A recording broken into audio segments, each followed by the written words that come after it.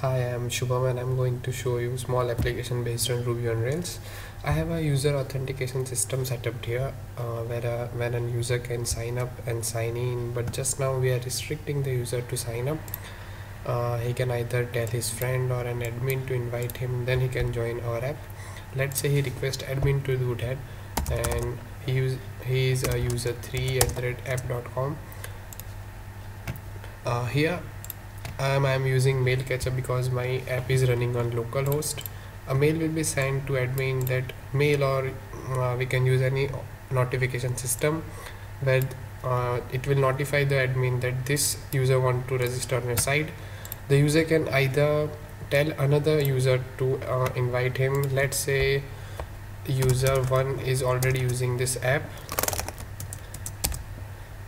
Uh, he can invite user 3 to join our app. Uh, another mail will be sent to user 3 uh, telling him that please register on invite app. He can just follow link and he can fill up the simple sign up form here. Uh, user 3 uh, the email field will, uh, in email field will already be filled because he's using the main our token. And he has already signed up uh, let's see the backend of this thing. Uh, in user model I'm using Ruby on Rails so we have MVC model here. In user model we have uh, we have similar uh, some functions that will be used for creating the token that will be distributed to the requesting user or an invitee. Uh, that uh, this three function will create encrypt and uh, sign this token. Here I am using simple encryptor encryptor that will be defined as a global variable. And just now I have for temporary basis I have defined them in devise.rb plus two lines. Uh, the encryptor will encrypt the token and verify will verifier will verify the token or you can say sign it the token. Here we'll be using a key that will be stored in an uh, app config.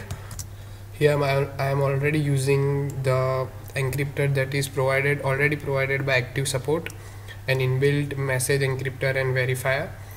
Uh, after these functions create the token it will be sent via a mailer. Uh, we have already defined the send invitation mail here and as we have seen the request may admin also.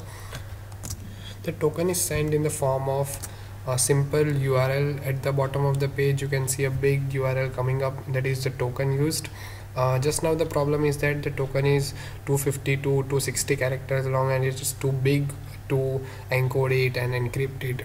Instead of that we will use a shorter version. I'm still working on it. Whenever the user clicks on this registration link uh, this three function will carry out the rest of the thing. Uh, first we will verify the signature then decrypt the token and then decode it. Uh, we can use the decoding functions uh, on the server or sorry client side also. Here we are first uh, encrypting the token and then signing it. We can reverse order also. We can first sign the token and then encrypt the token. Uh, now let's say a fake user gets this token and tries to produce a fake token. Uh, I am just decrypting getting something wrong in the token. Uh, our uh, exceptions will be raised by decryptor and the verifier respectively and it, will be rescued in the invitation controller. And it uh, it will just produce a flash notice calling it a invalid or corrupted token as you have seen here. And this is all for simple token based registration process. Thank you for watching the video